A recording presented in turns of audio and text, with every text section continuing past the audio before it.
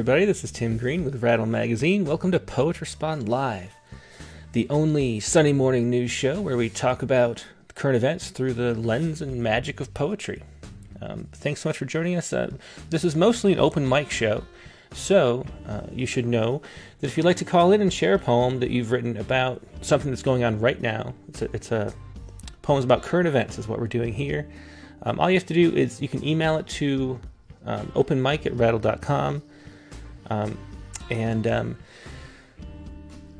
then I can show it on screen as you read. Then you call into our phone number, which is 818 850 7727. Let it ring a few times, and I will um, have you on the call list. It shows up on my call screen if you call and let it ring a few times. Uh, you can also send me a chat message over Skype, which is preferred. It's really nice to be able to see you as well as uh, hear you read your poem. So, um, all you have to do is uh, send a chat message to Rattle Poetry. I might not be able to reply, but I probably will um, on the chat window, and then I will call you when the time is right. Um, now, we have some excellent poems uh, published this week. Uh, we picked two for Poets Respond. We're going to start out by talking to those two poets, like we always do. And um, let me give a call to. Um, Today's poet, poet is Stephen Gibson. It is a Memorial Day poem. We're going to give him a call right now. Uh, here he comes.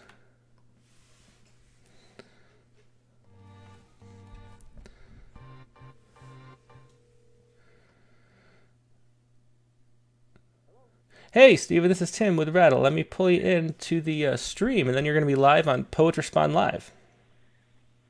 Great, that's terrific. Thank you, Tim. yeah, my pleasure. So, so uh, thanks so much for for joining us and for writing that poem today, uh, Stephen. I'm going to put it on screen so everybody can see. It's a crown for my father on Memorial Day. Um, is there anything you want to want to say about about about the poem and, and what um, you know? When did you start writing it? It's a long it's a long poem. Um, is it a poem that you sort of have been working on for a long time, or was it all really written this week? It, it, it's something that I've been working on uh, each Memorial Day. Uh, I, I, end up going back to uh, my father's service, mm-hmm. and in the past I've written uh, uh, about that. Um, and uh, it's a poem I've worked on. the sonnet crown is something I've been working on for a while. I wanted to expand more, and and at the same time uh, you know, keep going back to certain certain themes that I wanted to make sure I could uh, connect with. Uh, so it's something that I've been in. You know, every time Memorial Day comes around, I'm I'm uh, I'm gravitating toward toward going back to the subject of my my father, his service, and uh, and the damage that war does. Mm-hmm. Uh, so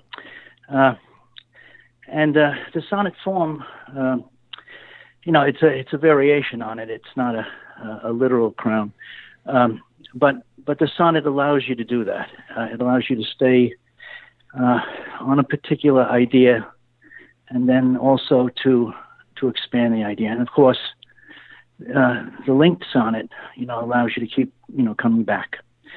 Uh, you know, I, I think that's that's really uh, every every every anniversary, mm-hmm. um, you know, my mind goes back to it, gravitates uh, uh, toward that.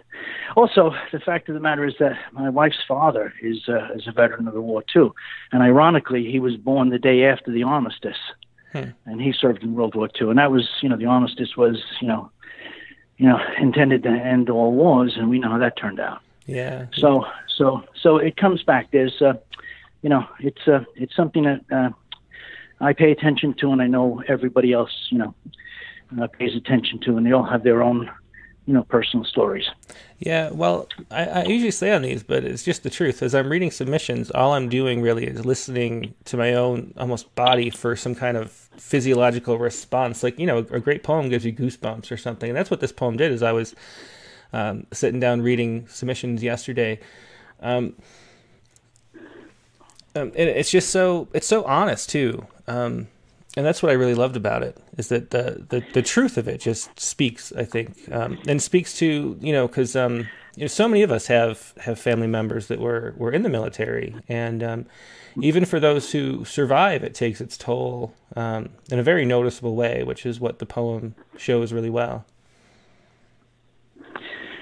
Uh, you know, uh, there, there, there were so many things, uh, you know, that I didn't know. Uh, fortunately, uh, before my mother passed away, she was able to come down, and uh, and we talked about things that you know are difficult to talk about, and uh, and uh, you know she you know she filled me in. She filled me in, and she wanted me to to know the you know the unvarnished mm. truth.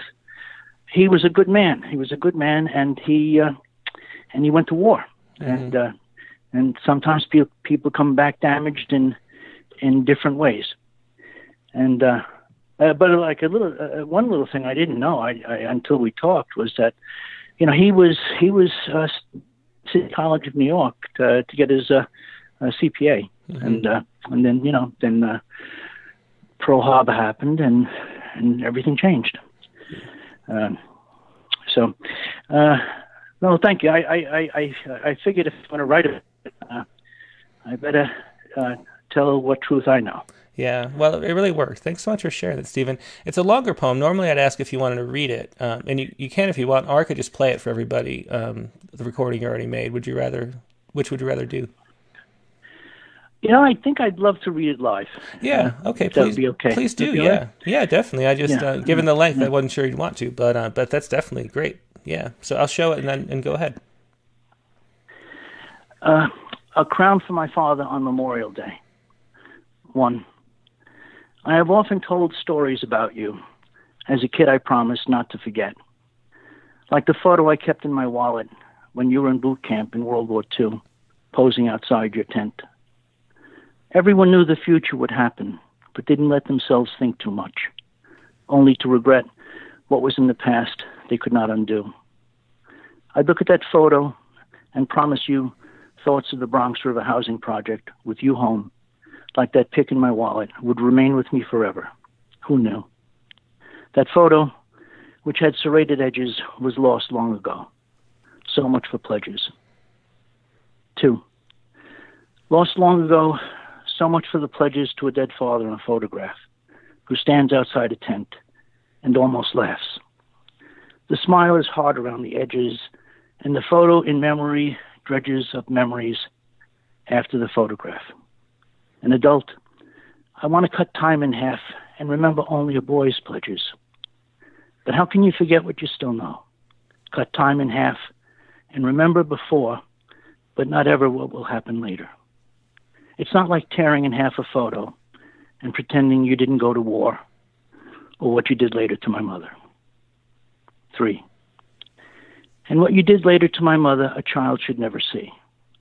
Court photos document the violence blow by blow to justify each restraining order, which you would comply with and then ignore.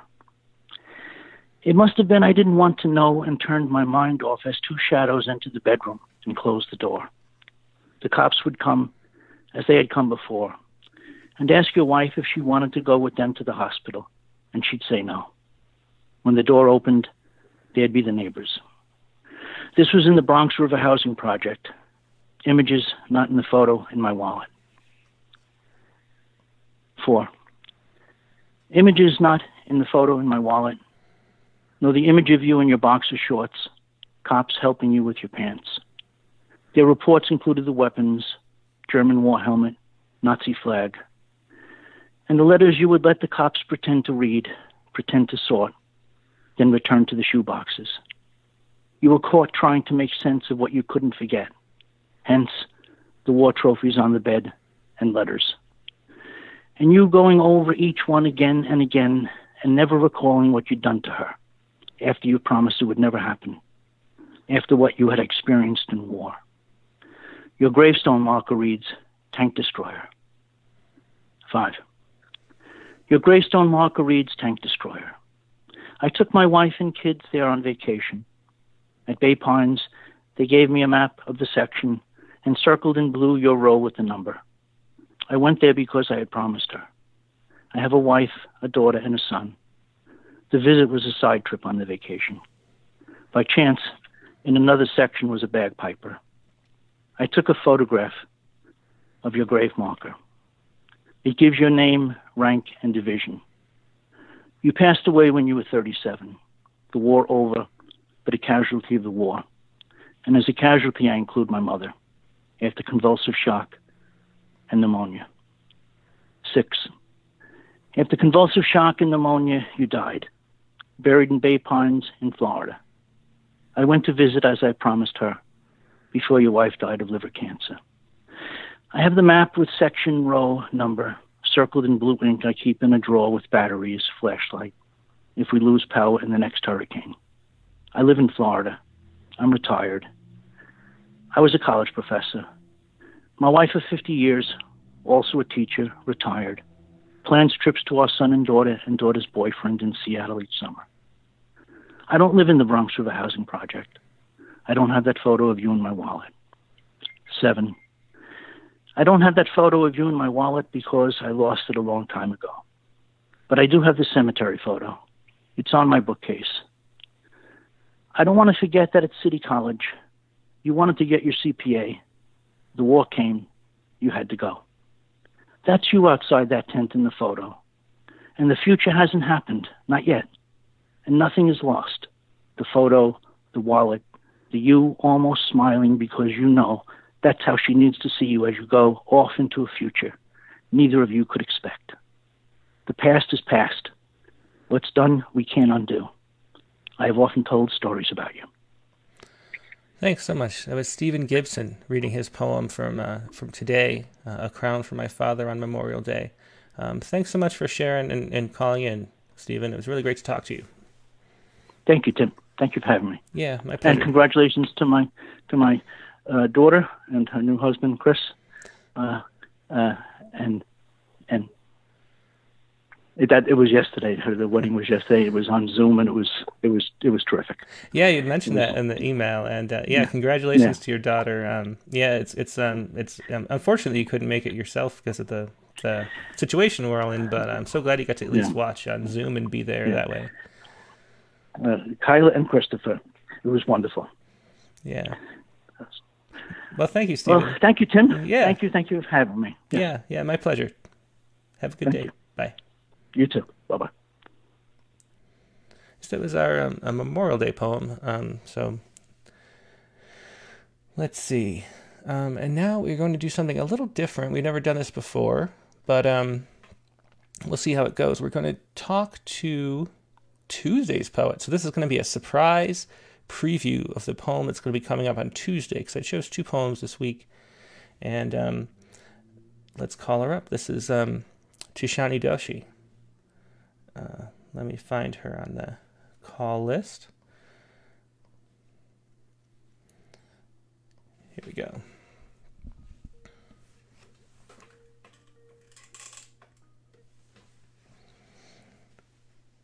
Tishani. Hi. Hey, thanks so much for joining us. Let me pull you in so everybody can see you.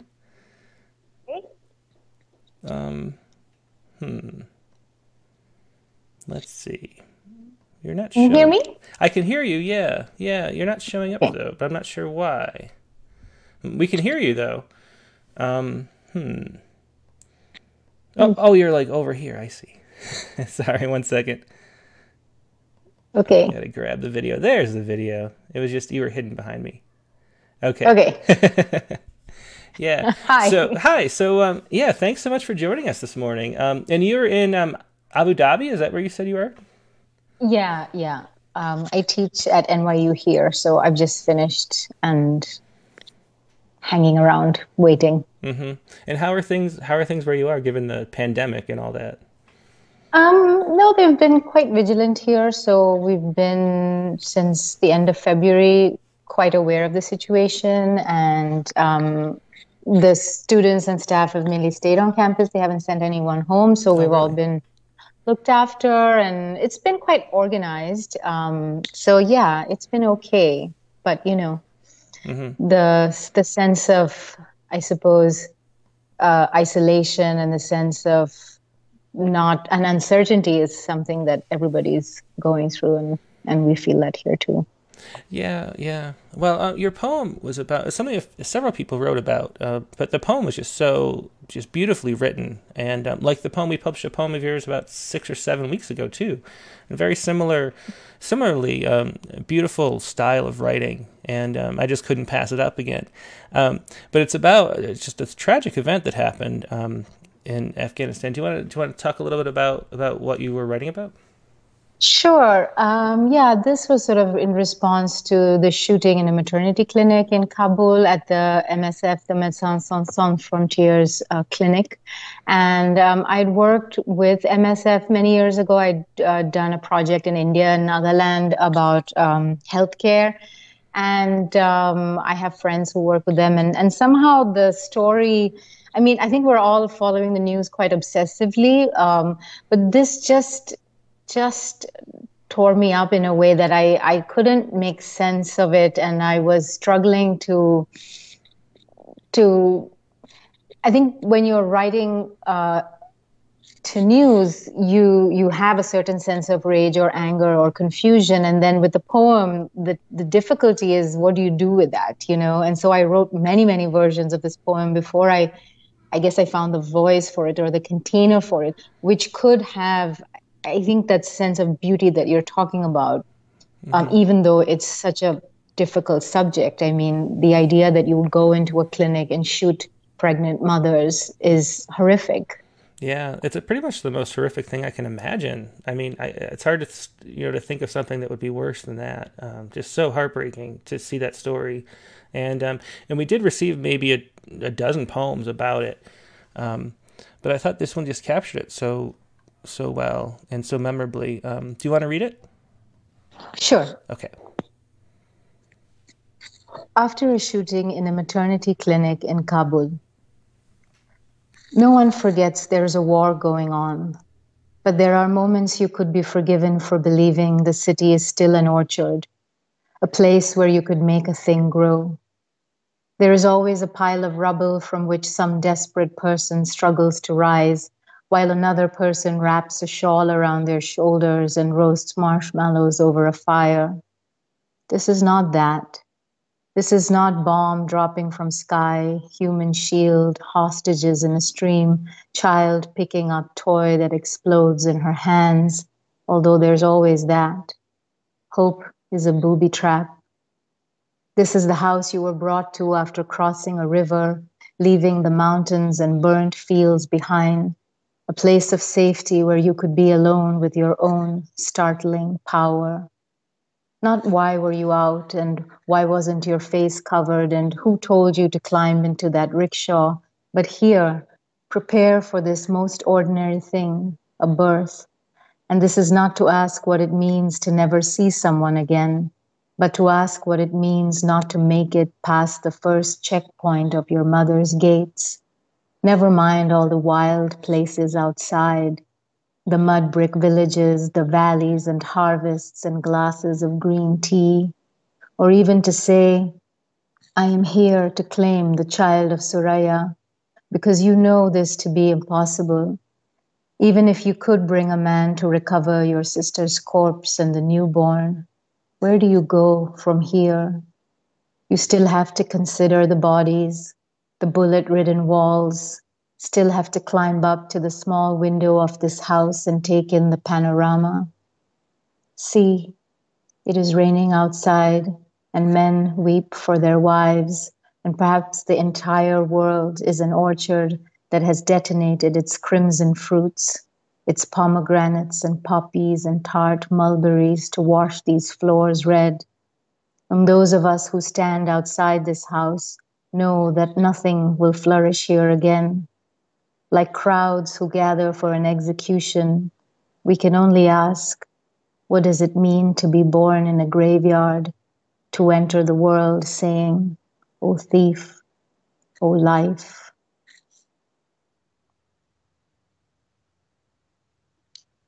Thank you. Thanks so much. I didn't have my mic on. Sorry. Yeah. So, um, what I said earlier um, to Tishani is that um, you know, the the one poem, you know, Stephen's poem gave me goosebumps, and this one made me tear up reading it. Um, it was such a, a touching poem, and um, just the the pain and suffering of the world just comes through so clearly and um, memorably in that poem. So thanks so much for her for sharing that.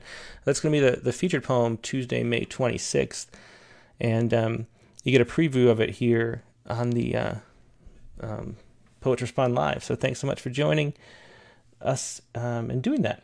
Now um, we're going to go to the open mic and um, or the open lines or whatever you want to call it.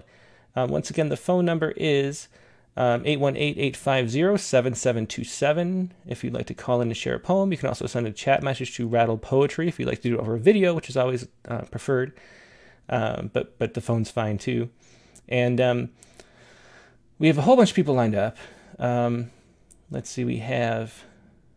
So I think we're going to go to Jennifer Jean, um, who we know pretty well here. We interviewed her in uh, Rattle number, uh, I don't know what, 43, 53 maybe. Um, Neal Lemery, Amit Saha, Vidya Venkat, Pranab Ghosh, um, Richard Westheimer, Harpreet Kathuria, and then we have some phone numbers too, a 561 number, um, oh, Megan Wildhood. So we have a lot of people that are ready to go. Let's get into it and, and not um, and not spend a lot of time me me rambling on. I'm not a morning person, and I haven't drinking my coffee yet. So um, let's do Jennifer. Let's call up Jennifer. Um, if I can find her. Oh yeah, I, I liked. Yeah, I love Jennifer's poem. So you're in it for a treat right now.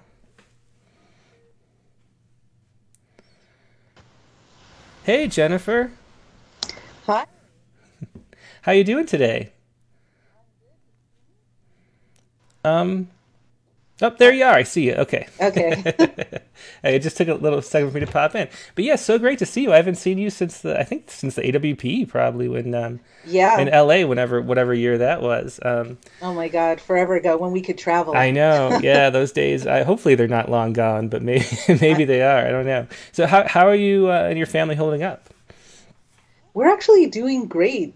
I mean, a lot of people I don't know. I feel fortunate. We're not like fabulously rich, but somehow we're thriving. We're healthy. Mm-hmm. I don't know. Yeah. I I usually feel. I mean, I have my dips. You know, life roller coaster, but actually pretty good. Actually.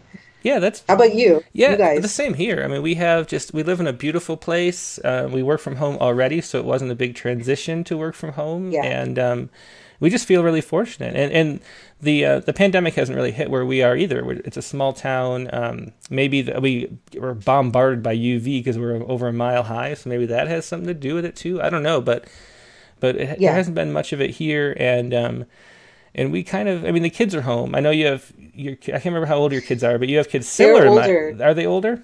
No, they're te- they're teenagers. teenagers. I think when now. I met you, they were pretty young. Yeah. But, okay. Um, yeah. Everybody's yeah. just time stops a little bit. But how are they? Yeah. You know, I, I keep thinking though, like it's hard enough for them. Mine are nine and five, but uh, oh. for for teenagers, um, it must be really yeah. hard not to you know, not to sneak out and you know well, all that no, stuff. I mean they behave, but my son suffered. He's an extrovert, and uh-huh. he just like embraced Zoom. He can train any professional on Zoom oh, wow. he does like all day long. He has calls, so he uh-huh. can reach out. And then he went back to work. He works at Chick Fil A, so mm-hmm. he went back mostly just to be around people. Yeah, yeah. So, but they they don't sneak. I mean, they're very good kids. Yeah. oh, and my yeah, daughter, I'm, we I'm send sure. them out. We don't have nature like you guys have. Uh-huh. I've seen your pictures on mm-hmm. Facebook. we do send them out once a day, like for a couple hours, just uh-huh. so that they're outdoors. Yeah, I think um, it's really important to for for a lot of reasons. Oops, we lost your video. Um, are you there still? Oh, I am still here. I feel froze. Oh, oh, you're uh, back. Okay. Um, well, the poem you, you wrote this week, which it was, um, it was one I, you know, there's just limited space, and and this is why I wanted to have this poet respond live because I had those two poems I really wanted to publish, um, and then yours was like the third one that I was like, ah, oh. and and that just happens every week. There's always a bunch of poems that I wish we could publish, and um, and so and I love this because it was not about the coronavirus, and um, and about it was about science, which I love science. Do you want to talk a little bit about what what the poem is about?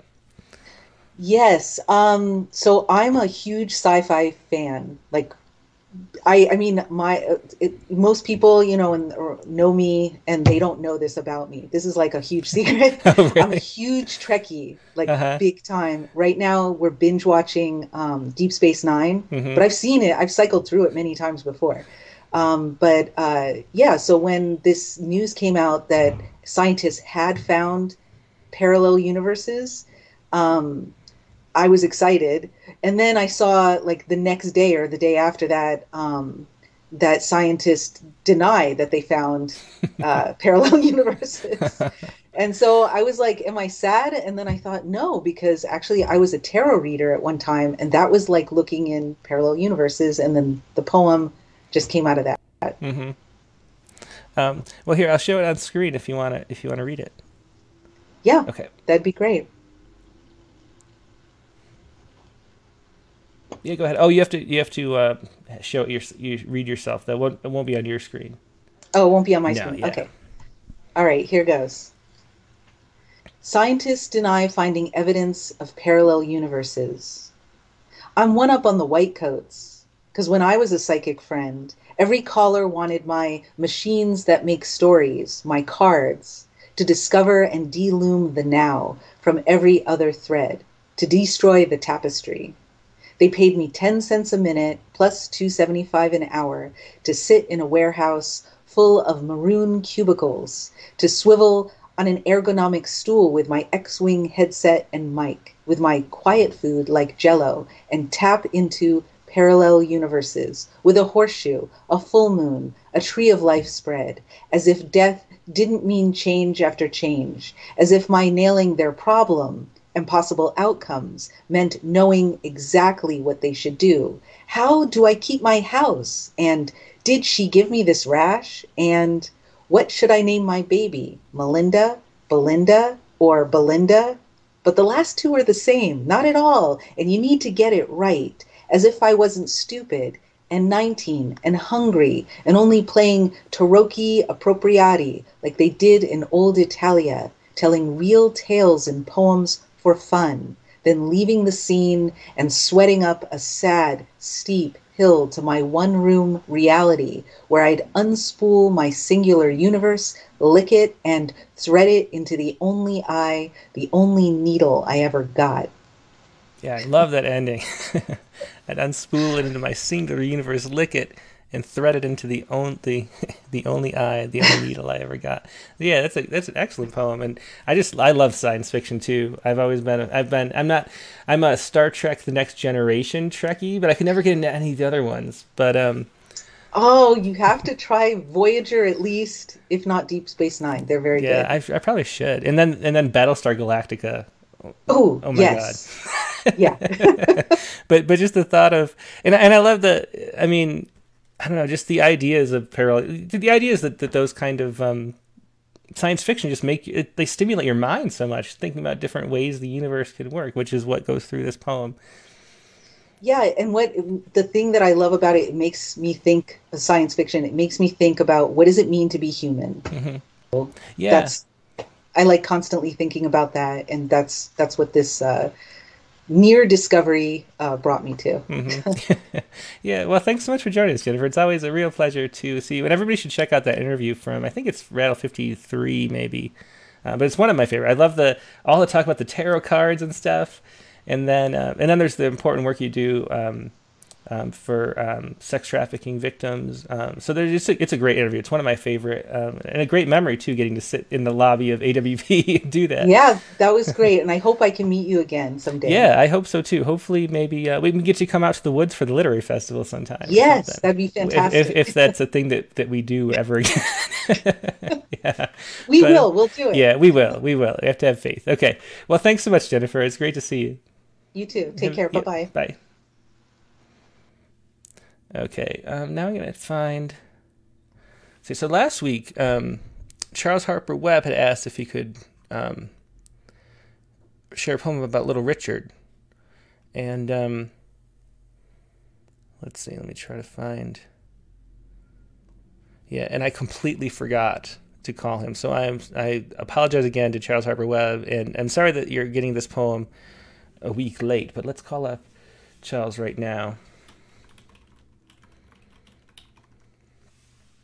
Um, oh, let's see. Well, I got to find him first. Here we go.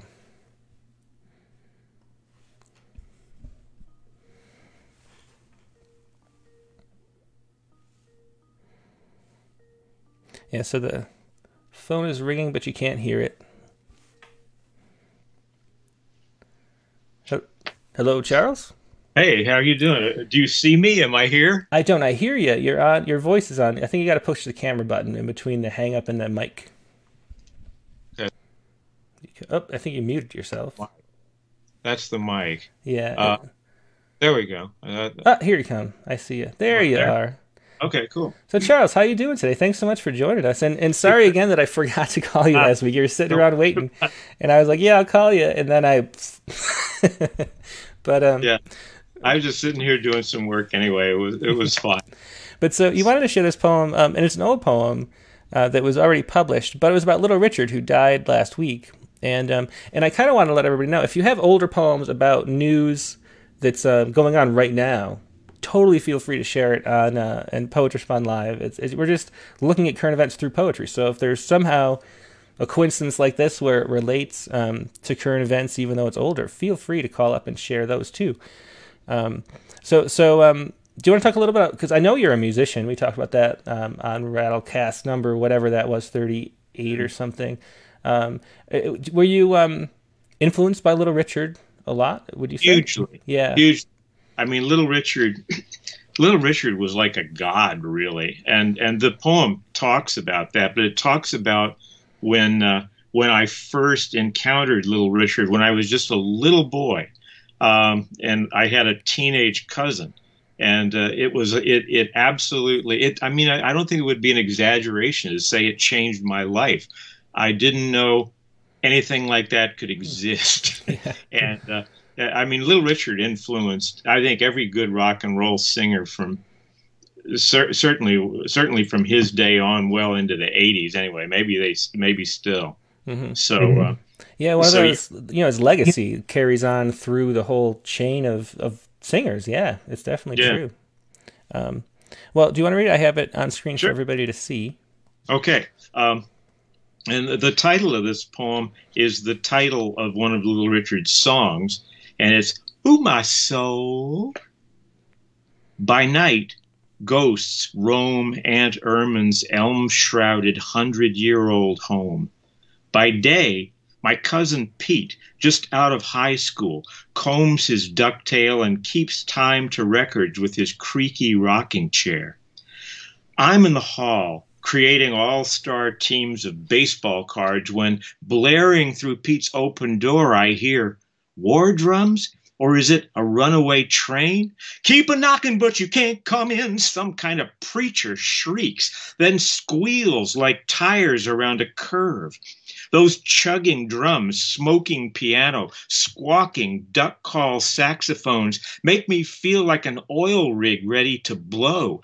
I see wells pumping, teeter totters bumping, giant turtle heads working out and in as bronco riders wave tall hats in the air.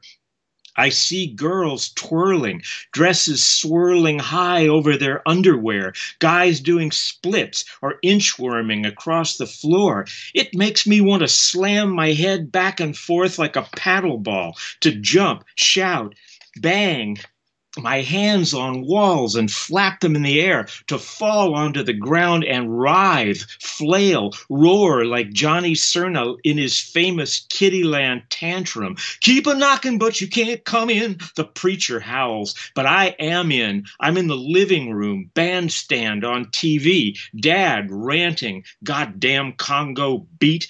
I'm in the back seat of his Ford a decade later, learning what that beat could be. I'm in my first first band, hoarse from screaming Long Tall Sally. I'm in my college dorm trying to jam that wild abandon into poems. I'm in my car heading for work when, good golly, Miss Molly, catapult out of my Blaupunkt stereo. I'm walking into Pete's bedroom where I've never dared to go. Oh, womp, womp, loom, womp, lomp, bam, boom. I'm not thinking in words, but I know I've spent my seven years rehearsing how to feel this way. It's more exciting than a touchdown any day, or a home run, a gunfight, hurricane waves at Galveston, a five pound bass on a cane pole. What is that? I holler. Pete says, rock and roll. Let me plug this too. There's a new book on poetry and music called Turn It Up. Uh, and uh, and the poem just came out in that too. I got also got one about Led Zeppelin. Uh, uh, the editor is named Stephen uh, Stephen Cramer, and uh, it let's see who uh, it looks like it comes from Sundog Poetry Center, Green Writers Press. Anyway, if you uh, look at it look it up on Amazon, you'll find it. It's got all kinds of good stuff in there, and like I say, another band that that totally influenced me was Led Zeppelin, and I got a poem about Led Zeppelin in there too. Awesome. Well, thanks so much for coming in and sharing yeah. that. Oh, hey, my pleasure. Yeah, pleasure to hear. He was a great one. Yeah, yeah, definitely. Um, yeah, thanks so much. Have a good rest of your day. You too. Bye. Bye. Yeah, and that was uh, once again. I should say that was. Uh, I keep forgetting to unmute my microphone this morning. Like I said, I'm not a morning person, and the coffee has not kicked in. But um, that was uh, that was uh, "Ooh My Soul" by Charles Harper Webb from his uh, book Amplified Dog, also republished in Shadow Ball, the uh, new and selected. Now, um, let's see. I'm trying to see. Uh, yeah, we got a lot of people flowing today. A lot of uh, a lot of people watching. So thanks so much for joining us, and, and good morning to you all. Um, I can't really keep up with the chat on these um, on these um, open mic shows. There's just too much going on. But um, but it's nice to see a whole bunch of people here. Now um, let's go to some more poets. Um, let's see. Who was the first to ask to be on? Uh, Harpreet Kathuria. Yeah, we'll do Harpreet.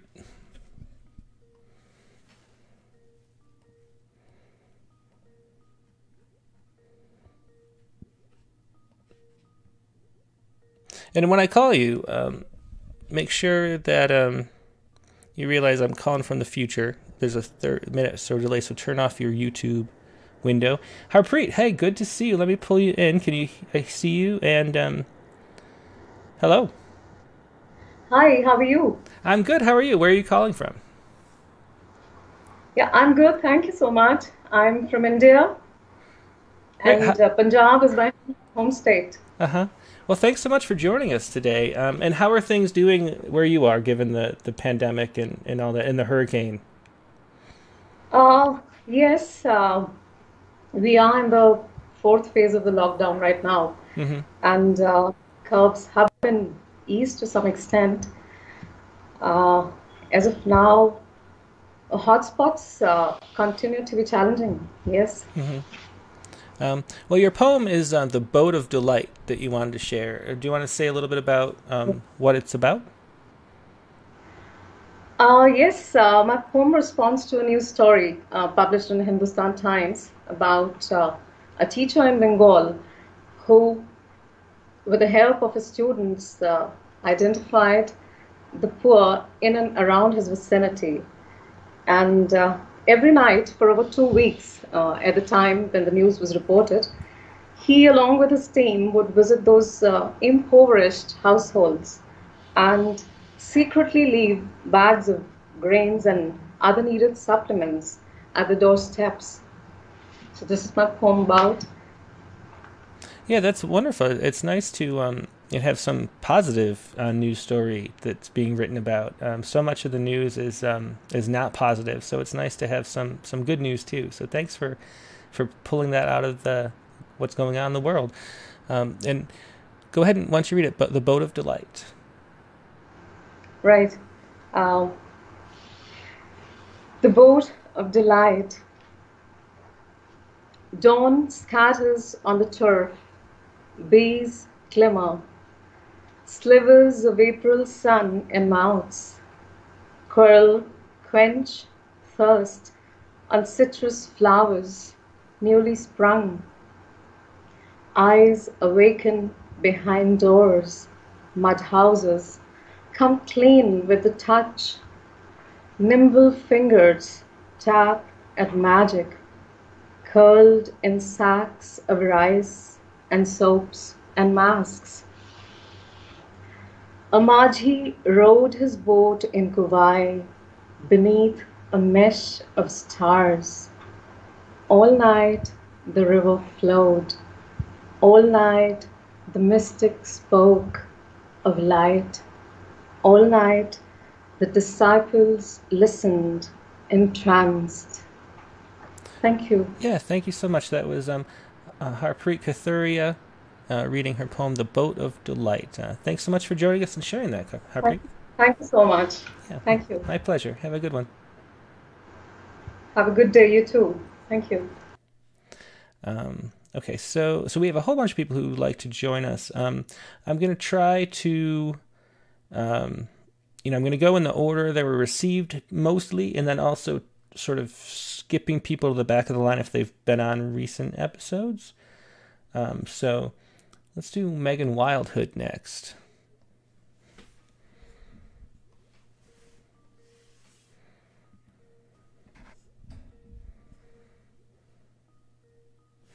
I'm calling up Megan right now. It's ringing. Um, hmm. Is currently unavailable. Oops. Please leave a message. hmm. Well, I tried to call Megan. Let, let's try the next person out. I'll get back to Megan if. Oh, she's calling me back. Okay. Yeah, some people don't have the ringer on, which is what happens. Um, Megan, can you hear me? Ah, hello. nice to see you and hear you. Yeah, I can. Uh, let me let me pull you in so everyone else can too. Hello, how you doing today? Hello, I'm doing well. How are you? I'm good. Yeah, I, I mean, I just wake up and do this, and um, and it shows. but um, that's amazing. But um, do poetry. Yeah, yeah. It's a it's a way to it's a good way to start the day with some poetry. So let me try to find. Did you submit the poem you want to read to Poets Respond? I did. Okay. Uh, on, I believe it was Friday. Okay, let me pull it up. Um, let's see. Oh, Wild Hood. I wrote Wild Wood. Okay. yeah, will do. so, um, so what was your what was your poem about? Do you want to explain a little bit what inspired it? Sure. So, I uh, was on the Washington Post's main website and saw. Um, it was actually kind of a minor article, but it said um, you know, COVID 19 does not spread as easily um, from surfaces and animals as originally believed, CDC revised website says. So I went on to the CDC website and it does indeed say that, but it doesn't say that it was a revision. Mm-hmm. So I found that to be pretty interesting. Like, oh, let's not admit that we made a mistake. Let's just pretend that it was always this way.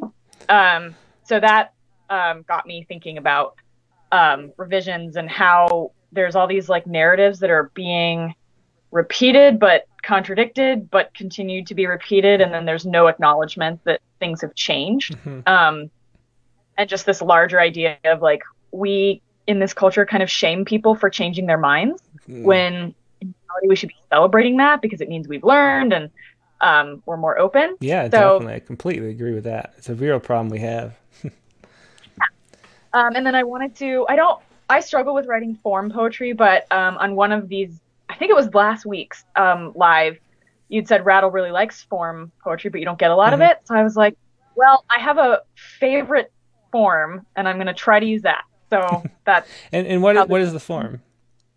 Yeah, it's a pantoum. A pantoum. Okay. Yeah. Um, and yeah, it, it, did stand out, and the form helped it stand out. This is one of the ones that I was considering too, actually. Um, because I because I do I love form, and um, so anytime we get in my ears or my eyes perk up a little bit when I notice something repeating or rhyming, because um, and there's a whole um, cadre of people who who um, sort of demand more rhyme with pitchforks and, and more form, and they say, you know, where why are all these poems just prose with line breaks? Is this is the constant refrain in my head? So um, it's nice to be able to publish some that aren't, and um, yeah. And um, but yeah, it's, it's such an important topic. My my faith in the CDC has really um, you know, just and, and all officials has has really dropped. And I didn't have much to start with, but I thought at least, you know, yeah, like, yeah, exactly, exactly. The whole like don't wear a mask thing, like oh god, and, right, and like, don't wear a mask, then do wear a mask, and then there's mm-hmm. no acknowledgement that that was it was just like, oh, I've always said this. Exactly. Like, it's it's like uh, there's like no. And then the other thing about it is that it seems like it stems from having no faith in the American public or something. Or, oh, yeah. or you know, like we can't tell you the truth. We have to like treat you like my five year old kid. But then what happens is that we act like five year old kids too. So maybe they're right. Is is part of the thing I keep thinking.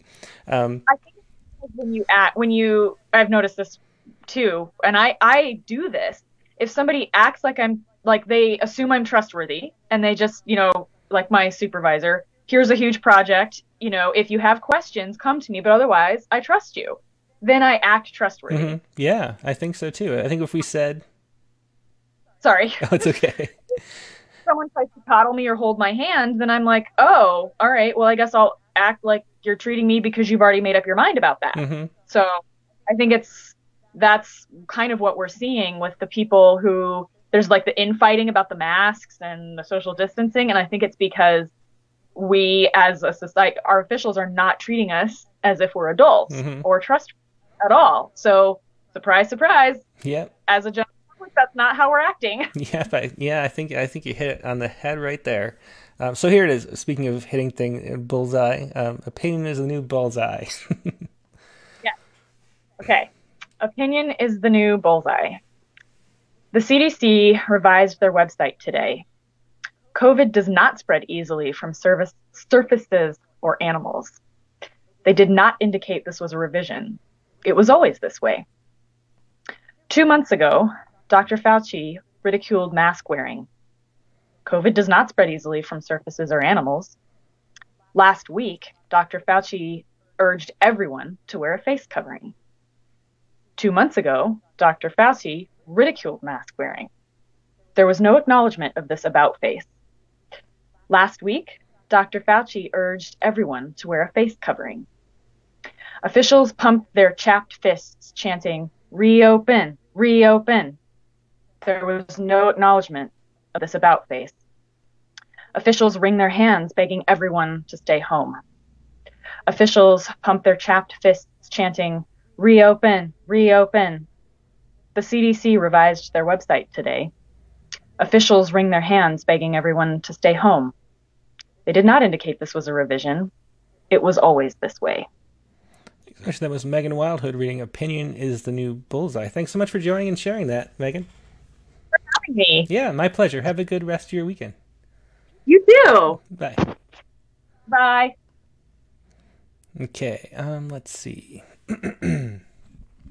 Who will be next? Um, let's see. Oh, we have to try um, Pranab Ghosh. We we keep trying to um, connect with him, and the, it doesn't connect. The last like three or four episodes, I think. So let's give him one shot this week too.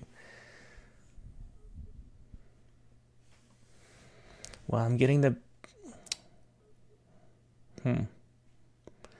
I'm getting that beep. I wonder. See, I think you can hear it if I. Yeah, I just get this busy tone. Yeah, it's still not working, unfortunately, uh, for Pranab. Sorry, Pranab. I really wish we could get you on. Um, he's been here the last three or four weeks, like I said. Um, let's see. Going down to the bottom of the list.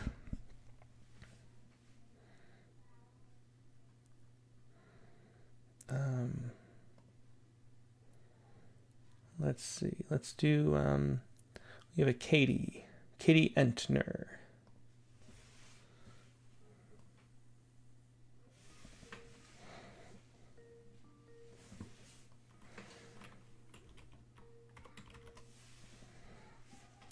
Hey, Katie, let me pull you in. I can you hear me? I can. Can you hear me? I can. Um, let's see. Here you go. I don't have video though. If you if you don't want to, that's fine. But if you do, click the video button so we can mm-hmm. see you. Um, so your poem, let's see that you wanted to share. Which one was it? There's two here from May. It's the the one from this past week called in this news clip. I know all the street names. Gotcha. And and do you want to explain a little bit about uh, what it's about? Yeah. Um, sorry, my video is not pulling up right now. Oh, it's all right. But this poem was about. Um, so I was raised in Midland, Michigan, and they just had a a really big flood this past week. Two of the dams upriver from the city broke, and they were um, there were about 10,000 people who had to be evacuated from their homes. And so it was this poem is responding to that, but also to the the strange feeling of of recognizing the things in a in a news story oh, that yeah. happening. Yeah, that, that, makes a lot of sense. And, and yeah, how how are things now? Uh, there are no no um, casualties or fatalities. I I see in your note. Um, are mm-hmm. things um, are they able to repair it, or, or is the is the threat over? Do you know? I am not really sure. I know that the water had started receding in some places, but two of the two lakes had drained mm-hmm. into um, downriver and and into the city, and so a lot of downtown area, and then a couple other smaller towns along the river had been really heavily damaged. So I'm not sure how mm-hmm how the construction or reconstruction is going so far. Yeah, yeah. Okay. Well, thanks for for uh, sharing this poem. It's in this news clip. I know all the street names. Go ahead and read it whenever you're ready. All right. I've seen flooding in newscasts much like this before. They're more or less painted the same color palette. The rush of thick water that covers the roadways in some shade of brown that you don't want to name Dingy, it laps at the bottom of street signs, beside a car roof sticking out of the soup. I've seen this before, how disaster defaces, but in Midland I know all these places. A reporter is standing at Ashman and Main, and she keeps looking down at her feet. Are they damp? While behind her the roof of the farmer's market hovers barely above the aquatic expanse. I've watched this before, it was almost the same, but this time I know that street's name. The most common aerial photo is taken a hundred or so yards southwest, overlooking the copper green ring of the roof of the market, the parking and park outlined sparsely by trees, and the spidery legs of the Tridge, which is crouched where the Tittabawassee and Chippewa meet. They have met, they have mingled, they've mixed up a drink, of neglect and destruction, of sewage and stink. I've seen this before after hurricanes, but here in Midland I know all the street names. On St. Andrews, librarians worked through the night to evacuate newspaper archives and kids' books. On Thursday, the National Guard helps to carry the volumes upstairs where they won't breathe the water the collection fares better than in 17, when only the books that were checked out were spared from the slow death of mildewy air. Even the city has seen this before, but the dams made it worse than in famed 86, and let's throw a pandemic right into the mix. Your response, all you chargers and chemics? Some kayakers paddle down sturgeon in search of some pets or belongings or just to see home. They are bright fish in canals of dull waters where Sturgeon Creek mingles with Sanford and Wixom. The news helicopter zooms in on an owner whose landscaping dots with green buoys, a pier where he pushes ashore and squints at the camera and wades to his door, disappears. I've watched this before, somewhere else far away, but I know all the street names today. Thanks so much. That was uh, in this news clip. I know all the street names by Katie Entner. Um, and Katie, where are you calling from? I forgot to ask, but it looks like you're overseas, maybe based on your address. Yeah, yeah, I'm calling from France. Yeah, that's what I thought. It doesn't say the country on the submittable um, link. But yeah, yeah. So that that's adds a whole new sort of layer to it to have to see mm-hmm. from so far away those familiar right. streets. Yeah, yeah. Um, kind of a feeling of helplessness, I bet. Um, yeah. Yeah. And description. Yeah. Well, thanks so much for sharing that. Um, excellent yeah, poem, Katie. And I, I love the, the rhyme in there too. Thanks. Yeah. Have a have a good day. You too. Bye. Bye. Okay. Let's see. Um, next in line is uh, Neal Lemery. I think he might have been on one time a couple weeks ago or months ago. Maybe not, though. Hi, Tim. Hey, Neal. Um, let me. Uh, let's see. I don't have any video yet, but uh, I have your audio. Um, if you want to push the camera button, then we can see okay. it too. to camera button. Yeah, it would be between the um. There you here you come. Okay, good to see you. Neal. Okay. Yeah. Good. And where are you calling from? I know you called in one time oh. before, I think, but I can't T- remember. Tillamook, Oregon. Tillamook, Oregon. Oh yeah, yeah. We love Tillamook cheese. Let's see. And what what poem did you want to read today? Uh, I'm going to read the um, "Rejecting the Apocalypse." Ah, that's right. Okay. Is there anything you want to say about it before we start? Um, yeah, we've I've just been mulling over things in quarantine and um, having a hard time writing because it just comes in fragments and things don't come together. Um, so yeah, this has been I've been working on it for a couple of weeks off and on. So. Okay, yeah. Well, let's hear it. This is uh, rejecting the apocalyptic. Oh, apocalyptic. Okay. Right. Rejecting the apocalyptic. From my quarantine fog, the, this great awakening calls me to step forward, stirring me into action from world crisis, limbo, isolation. I hear a calling to respond. Emerging from confusion, and uncertainty, I crave knowledge, understanding, a looking to science, yet often distracted, ambushed by half baked half truth conspiracies, apocalyptic panic, manic rejection of reason, logic, experience, years of observing, hypothesizing, testing, refining. Let's now be hysterical. History repeating, we fail as students, somehow needing to learn old lessons again, straying from proven tools, critical thinking. The fearful, rigid thinkers of cookie cutter answers moving sideways. Clutching the nearest pretty falsehood, the patent medicines, shoving aside the inconvenient truths, the proven methodologies, the tried and true. In such a world, it was all too easy for extremism and fundamentalism to take root and grow. And from fundamentalism it was but a short step over the line to madness. I move ahead, turning away from the panicked, the irrationality, to the wise observing, assessing, evaluating, those answering the call to reasoned analysis. I move to join with that community, those experiencing, learning, evaluating the age old ways of moving ahead making sense, bringing order from chaos and fear. Voices of reason and truth. Thanks so much. That was Neal Lemery reading his poem "Rejecting the Apocalyptic." Uh, thanks for for joining and sharing that, Neal. It's another good poem. All right. Thank you. Thank you. Have a good day. You too. Okay, let's see. So I just saw a message from uh, Richard Westheimer. Um, he said that the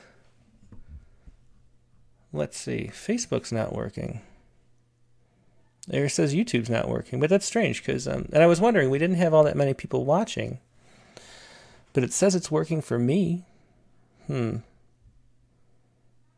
I don't know. It must be some YouTube glitch, but maybe I can, um, I can upload the, the video later so you can have the full video. This was a, this been a very good episode, so I wouldn't, I'd hate to have ever, anybody miss it. Um, but we are over live on Facebook let's see. Facebook is fine. Yeah, Facebook's fine, but YouTube's not working. And um, yeah, Periscope's working too. Hmm. Let's see, online. Yeah, I, I, will have to see what happens later. But uh, thanks for letting me know. I wish I'd seen that earlier, so I could have uh, maybe done something to fix it. But um, but thanks, Richard, for letting me know. Um, now let's see. It's uh, it's it's ten o'clock, and the next person on the list. Let's do um. Let's do Vidya Venkat. She wanted to do share a poem about um. I have to find it again.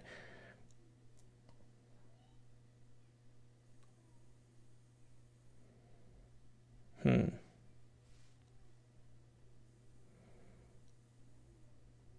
Let's see. Also, Matthew King says it's working now, but the YouTube didn't work for the first 20 minutes. Hmm. Well, that's strange. I have no idea why that would be. Hopefully, that doesn't that that isn't a gremlin that keeps popping up in the future. Um, anyway, let's call Vidya Venkat. She's going to share a poem um, about the um, the the typhoon that came through. Hello, Vidya. How you doing today? Let me pull you in so everybody can see it. Hi. I have audio. Hi. Oh, there you go. Hello. How you doing today? Yes.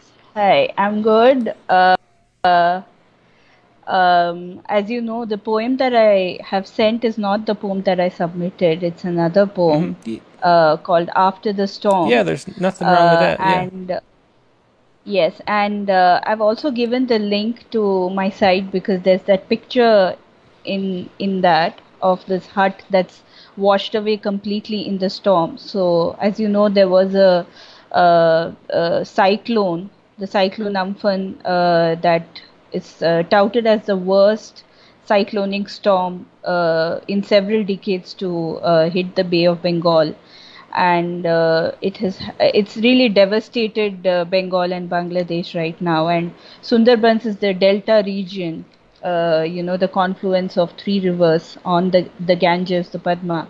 Uh, it's basically um, on the Bay of Bengal, and it's a very sensitive, eco-sensitive zone.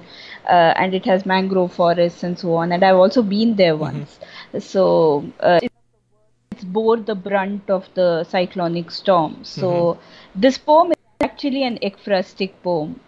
Uh, you know, it was inspired by the photo of a man that I saw uh, on social media of this man who was sitting and sobbing after the uh, cyclone. Uh, so I wanted to read this out. Okay, thank you. Yeah, everybody can see the, the photo and um, and the poem. So go ahead whenever you're ready. Yeah. Yeah. After the storm, he sits on his haunches, palm over the head. The storm last night blew away his hut. It was made out of straw and some thatch. It was no match for the might of the raging monster. In Sundarbans, people become meals for crocodiles and tigers. I remember the ordeal of that woman in Gosaba whose teenage son went fishing one morning in the brackish water when a sly mugger dragged him to death.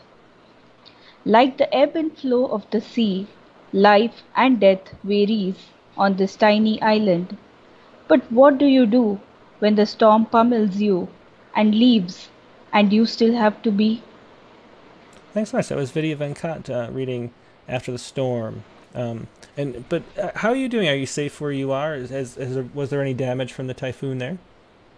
Um, no, I'm in Chennai, mm-hmm. uh, but I have friends and family who live in Kolkata. Mm-hmm. So from them, I was constantly getting news of what was happening there, mm-hmm. and it was really very scary like uh, the entire city even calcutta is completely uh, damaged because of the storm mm-hmm. so i have friends there i have plenty of i grew up in calcutta so mm-hmm. uh, i have plenty of friends there and i'm constantly getting like messages from them so i've been really worried the past week you know oh, uh, yeah. praying for their life and safety mm-hmm. yeah yeah definitely well i hope hope um, they all stay safe and um and, and remain so yeah yeah, yeah. Well, thanks. Thank you so yeah, much. Yeah, thanks so much for sharing that. Thank you. Bye. Okay, um, let's see. Um,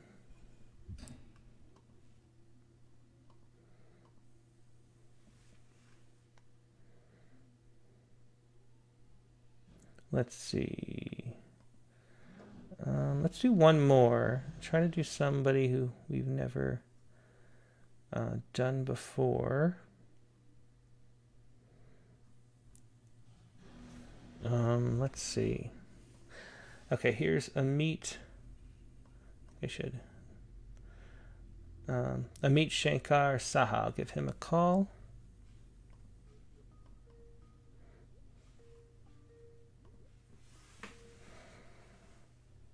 Amit, hey, this is Tim with Rattle, and you are live. Hello, let me pull you in.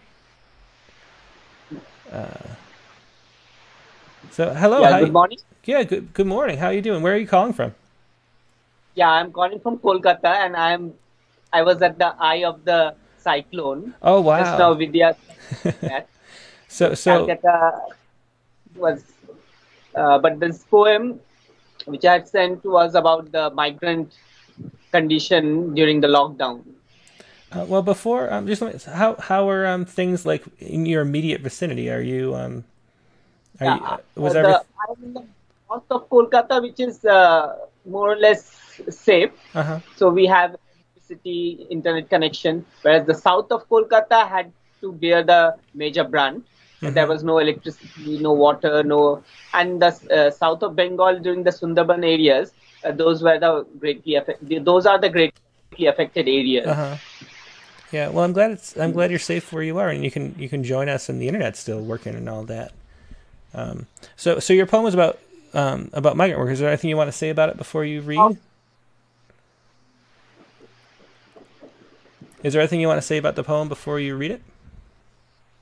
yeah the poem is about this uh, like we are going through the corona crisis and we are in a lockdown phase and there is a constant news coming in about tragedies about migrants who have uh, been quarantined who are wanting to go to their native places but they are not able to that they are walking for distances because there is no other vehicle. And instead of uh, like uh, they are not dying out of uh, this infection but they are dying on the way either through accidents on the railway tracks or on the road or just out of malnutrition because they are not getting any food. So this sudden lockdown has put them in a great peril. And this constant news that is coming in it's not just one news it's daily news that the migrant situation just like the corona situation is there the migrant situation is there. And amidst also it's a constant stream of bad news. It almost makes one's immune like uh, okay this this is just uh, normalizing a tragedy Yeah, yeah. So, I definitely. i was when i wrote this poem immune Okay, go ahead and read it. Should I read yep, it? go ahead. immune. There is so much of grief in this world that I am unaffected by it. Seeking my own personal grief, swooping down into the well of memories to fetch those shadows is not is too easy. Nostalgia has been kind to me. But what about those sorrows whose sorrows those sorrows those whose sorrows do not diminish me whose sadness does not take the light out of my world what about that migrant child's death the news of which does not reach me so much of unaffected prose enters my poetry that i sometimes wonder whether I have ceased to be a poet. Thank you. That was Amit Shankar Saha reading uh, Immunity. Um, yeah, thanks so much for calling in and sharing that, Amit. Yeah, yeah. Stay safe and have a good rest of your day. Yeah, bye. Okay. Well, that is going to be all for the show today. Thanks so much for joining us. If you missed a, a segment of the show um, because apparently it wasn't streaming to YouTube, I will try to replace that. Um, you know, it's uh, I can I can download the files uh, from Facebook or something and then put it back to um, YouTube. and uh, hopefully people will be able to watch, and, and you'll have no idea what I'm even talking about if you look at this in the archive. But um, but an excellent uh, excellent show. Just so many great poems and um, from all over the world, and that's really the joy of this uh, every weekend for me is to get to see so many slices of um, our human reality from um, so many different perspectives. And I'm glad, really glad we could share that with you. Um, so thanks so much for joining us, and um, hope you do next week. This is going to be a this is a weekly Sunday morning show. Now next week uh, on the Rattlecast, this coming this coming week, I should say. Uh, John Philip Johnson is going to be the guest. Uh, he's the author of Book of Fly and uh, um, Stairs Appear in a Hole Outside of Town. Those are two graphic poetry books um, done with um, really well-known comic book artists um, who do you know who, who, work with Marvel and all that stuff. And uh, these are really excellent poems, but then they become comic books, which is a really cool thing, which he kickstarts. Uh, so he uses um, um, you know that fundraising tool to produce these books. Uh, so there's a lot to talk about. He's a he's a poet. Um, he's a great poet, but he's sort of a poet that um, has chosen a different path than the than the usual um, way of publishing. And so it'll be interesting to talk about that, and interesting in, interesting to share uh, these poems from this book with uh, with images too. So um, look forward to that. That's Tuesday, May 26th at 9 p.m. Eastern Time. And uh, there is a um, prompt, as always, which is you have to write a poem, and I can't pull it up in time, but you have to write a poem um, that starts with a question and ends with a different question. That's the prompt for this Tuesday. So if you uh, do that, you can send it to openmic at rattle.com and um, and join in live in the open mic just like we do here today, except it's for prompt poems instead of news poems. And that's Tuesday night. So hope to see you then, and hopefully the YouTube uh, problem will be figured out uh, by then. Now, um, that's all for tonight or for this morning. Hope you have a good rest of your weekend, and I will see you soon.